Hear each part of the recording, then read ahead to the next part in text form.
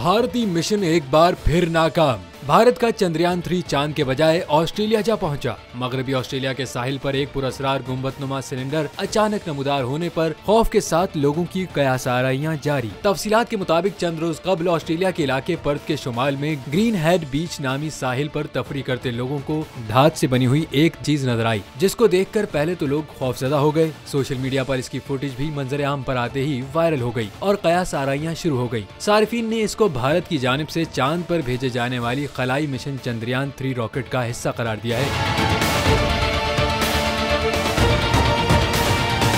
खलाई माहरीन के बयान भी इस हवाले से सामने आ गए। खलाई आसार कदीमा के शोबे के माहिर डॉक्टर एलिस गवर्नमेंट के मुताबिक, ये चीज़ किसी रॉकेट के ईंधन का सिलेंडर है, जो हिंदुस्तान के कुतुबी सैटेलाइट लॉन्च व्हीकल रॉकेट के तीसरे टेस्ट ऐसी आया है। और इस हवाले ऐसी बहुत से लोगों ने सोशल मीडिया आरोप भी तस्दीक की है। वाज रहे की भारतीय सैटेलाइट लॉन्च व्हीकल की तस्वीर इस सिलेंडर ऐसी मुकम्मल तौर आरोप मुशाबियत रखती है। ताहम ये सिर्फ़ कयास आराइयाँ हैं और फ़िलहाल इस बारे में कोई तस्दीक नहीं की गई दूसरी जानब रियासती और विफाकी हुकाम ने इसकी तहकीकत शुरू कर दी है। और इस साहिल को आम शहरियों के लिए बंद कर दिया गया है।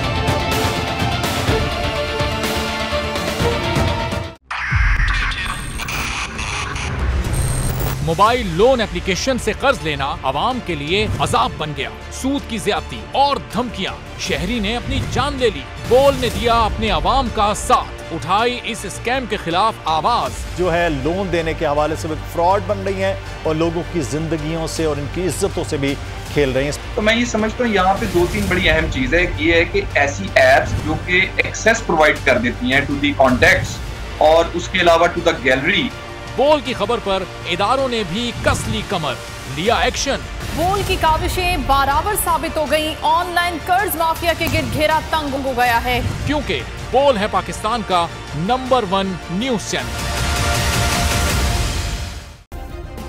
subscribe करें और बेल दबाएँ ताकि कोई खबर रह न जाए।